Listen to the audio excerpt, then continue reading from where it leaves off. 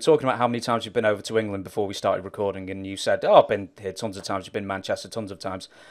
What were the circumstances that somehow the uh, men on the mission, Mo and Mabel, ended up taking the WWF Tag Team titles off you uh, at a house show in London? Yeah, I think it was just uh, it was at the point where uh, I think Vince wanted to uh, to say uh, anything can happen in, in WWE. Like uh, it's not gonna have this. We're not just gonna have title change on Raw or on pay per views. It can happen on house shows. So to you know get the fans you know to go to the house shows and expecting that something might happen you know to be involved in the drama that oh those guys might win or those guys might lose and just just to get that uh that that you know that effect. And uh that's why you know uh, we lost it in england. We gained it back in england.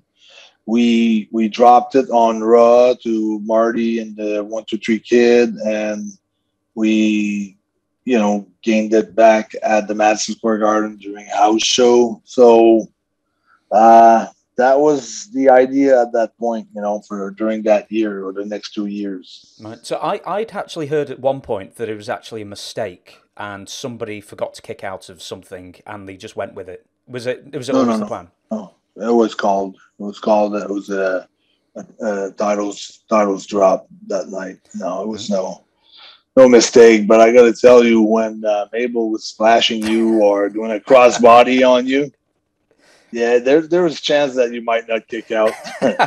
My next question is: I'm even going to show you. Did Mabel kill you with one of his splashes? Almost.